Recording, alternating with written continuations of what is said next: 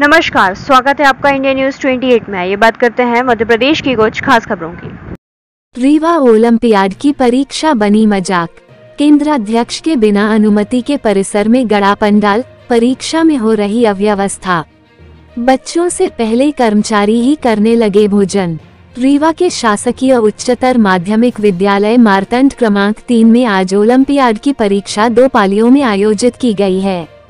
उक्त परीक्षा में परीक्षार्थियों के लिए शासन द्वारा भोजन व्यवस्था भी की गई है, जिसे लिए प्रति छात्र सौ रूपए शासन स्तर से स्वीकृत किया गया है, जिसे डीपीसी के माध्यम से बीआरसी को सौंपा गया।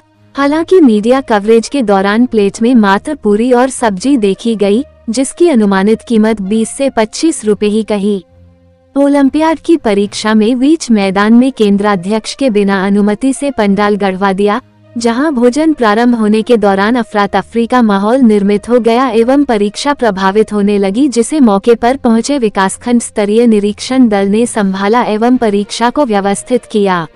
आश्चर्य की बात तो तब देखने को मिली जब 12 बजे से खाना प्रारंभ हुआ। बच्चों से पहले व्यवस्था कार्य में लगे कर्मचारी ही खाना खाते देखे गए, जिसमें अधिकांश ऐसे कर्मचारी देखे गए जिनकी वहाँ ड्यूटी ही नहीं लगी थी। बताया गया है कि सेमरिया संकुल का एक माध्यमिक शिक्षक जिसे बीआरसी कार्यालय रीवा में अटैच किया गया है वो सबसे पहले प्लेट उठाया और खाना खाने लगा जिस संबंध में डीपीसी से पूछताछ कर सच्चाई जानने का प्रयास किया जा रहा है। रीवा संभाग ब्यूरो मनोज तिवारी की रिपोर्ट। जी सर ये परीक्षा आयोजित हो रही है। कैसी परीक्षा है? कौन सी परीक्षा है सर? ये ओलंपियाड की परीक्षा ब्लॉक स्तरीय ब्लॉक स्तरीय है और जिला लेवल की परीक्षा हो। रही है। यहाँ पर कक्षा छः से आठ और दो से तीन तक के बच्चों की परीक्षा है। जिसमें से अभी इस फ़र्स्ट मीटिंग में अड़सठ और अड़सठ बच्चे थे और जिसमें से केवल पाँच बच्चे दो से तीन में अनुपस्थित हुए तिरसठ प्रेजेंट थे।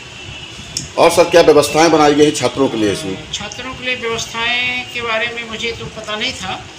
और ये डीपीसी जिला स्तरीय परीक्षा है या ब्लॉक स्तरीय परीक्षा है ये सब के संबंध में डीपीसी या कि बीआरसी।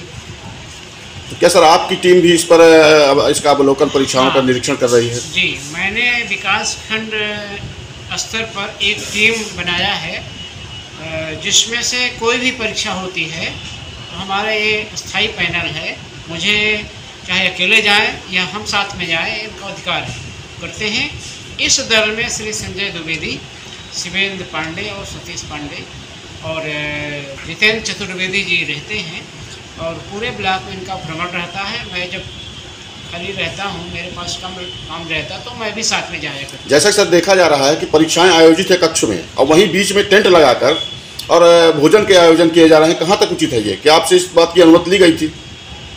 ये तो मेरे आने के बाद देखा कि लगा हुआ है, बल्कि वहाँ कई लोग थे तो उन्होंने कहा परीक्षा परिसर में इतने लोग ना हो। और मुझसे कुछ अधिकारियों से भी बात कराया गया। तो उन्होंने कहा, हमने ये मना नहीं किया कि लोग ना आए, बट जिसको डीपीसी या बीआरसी अधिकृत कर दें, वो आके जहाँ मन हो वहाँ जाए, परीक्षा में जाए या ग्राउंड में जाए या जहाँ भी।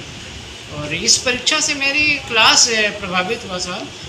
क्या है, बोर्ड परीक्षाएँ हैं। बोर्ड का जब रिज़ल्ट आता है तो सीधे सीधे तलवार लटकती है। लोग फिर ये नहीं कहते कि आपने कितना परीक्षा कराया, कितना प्रशिक्षण कराया, कितना भोजन कराया। ये सब कोई नहीं सुनने वाला होता है। इसलिए मैं चाहता हूँ कि मेरे जो बोर्ड के क्लासेस हैं, वो प्रभावित ना हो।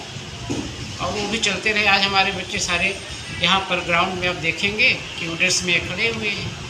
अब ऐसे माहौल में ना तो बच्चे पढ़ पाते हैं ना टीचर पढ़ा पाते हैं इतनी भीड़ में। इसके जिम्मेदार सिर्फ़ कौन माने जा सकते हैं सर? कौन है जिम्मेदार जो इस तरह की व्यवस्था फैला रहे हैं? अब ये तो सर मैं नहीं तय कर पाता ज़िम्मेदारी किसकी है। और सर जैसे एग्ज़ाम हो रहे हैं वहीं पर भीड़ भाड़ और तरह तरह की बातचीत होना उससे परीक्षाएँ तो प्रभावित होना समझ में आ रही है अब भी देखा गया है कि लोगों को परीक्षा कक्ष से दूर रखा जा रहा है। पर ग्राउंड में तो ध्यान बटता है बच्चों का। भीड़ भाड़ में चल रहे हैं किस विषय के है? ये ओलंपियाड परीक्षा 2023-24 की परीक्षा है है कहाँ कहाँ के बच्चे इसमें भाग ले रहे हैं? ये विकास खंड रीवा के बच्चे हैं इसमें विकास खंड रीवा के समस्त विद्यालयों से चयनित जो हुए हैं संकुल स्तर पर उन वो बच्चे आज यहाँ अब क्या क्या व्यवस्थाएँ की गई सर यहाँ? यहाँ भोजन की व्यवस्था है पानी की व्यवस्था है। और लाने ले जाने की भी व्यवस्था बच्चों के लिए की गई। क्या शासन की ओर से भोजन की व्यवस्था और अन्य व्यवस्थाएँ बनाई गई हैं? ये आरएस के द्वारा प्रायोजित पूरी जो भी ज़िम्मेदारी सौंपी गई है वो आरएस के द्वारा दी गई है। ये बच्चों के भोजन की व्यवस्थाएँ हैं? जी। बच्चों प्लस पेरेंट तो इसमें ज़्यादातर देखने को ये मिल रहा है बच्चे तो दिख रहे हैं भोजन करते बच्चे परीक्षा कक्ष में जा चुके हैं परीक्षा देने। बच्चे कर चुके हैं भोजन। अब जो बच्चे हुए हैं गार्जियन और टीचर वो कर रहे हैं। परीक्षा वाली ऑलरेडी अभी ब्रेक हुई थी इसके बाद बच्चे भोजन करके अपने परीक्षा कक्ष में चले गए यहीं परीक्षा हो रही है परिसर के अंदर ही टेंट लगाकर भीड़ भाड़ लगाकर इस तरह का कार्यक्रम हो रहा है तो इससे तो परीक्षा भी प्रभावित हो रही होगी। नहीं हो रही बिल्कुल नहीं हो रही। बच्चे परीक्षा दे रहे हैं। बहुत छोटे बच्चे उनको बहुत दूर ले नहीं जा सकता। सड़क का मामला है अगर कुछ एक्सीडेंट वगैरह कहीं कुछ हो जाएगा तो ज़िम्मेदारी होती है इसलिए बच्चों सर को क्या ब, क्या वरिष्ठ अधिकारियों द्वारा यहाँ पर परिसर में ये टेंट लगाने की अनुमति दी गई है?